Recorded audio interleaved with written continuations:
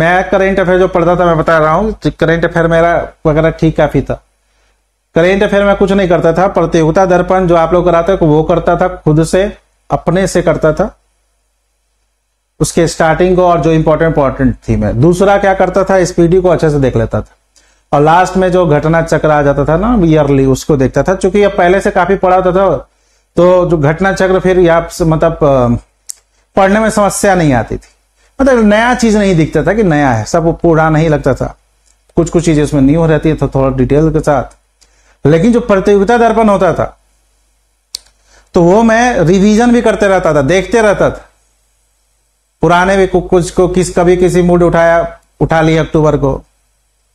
उसको कितना देर लगेगा? पाँच सात पेज रहता था, आठ पेज देख लो, ऊपर ऊपर एक सलसरी नहीं का उससे क्या होता है ना कि रिकॉल होते रहता है चीज़ें।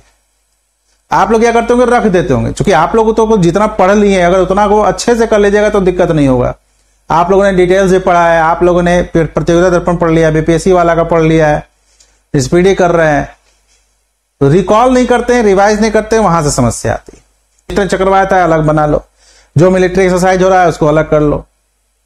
कुछ अंतर्राष्ट्रीय पुरस्कार मिला है, उसको अलग लिख लेते थे। महिला वाला को स्पेशल जो कुछ अलग मिलता है कहीं पर कोई महिला कुछ जीत रही है, चाहे अंतर्राष्ट्रीय स्तर हो या भारतीय स्तर पे हो, चाहे वो क्रिकेट से संबंधित हो, चाहे चुनाव से संबंधित हो, उसको एक अलग लिख था। मेहनत लगता है, लेकिन वो सब चीज़ें ना, दो काम। एक तो आपको हमेशा याद भी हो जाता है, और दूसरा वहाँ मैक्सिमम चांसेस होता है कि वहीं से चीज़ों को पकड़ा जाता है। मेहनत लगता है